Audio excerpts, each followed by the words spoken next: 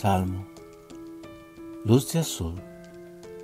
Foi quando eu aprendi a orar que a esperança nasceu em mim.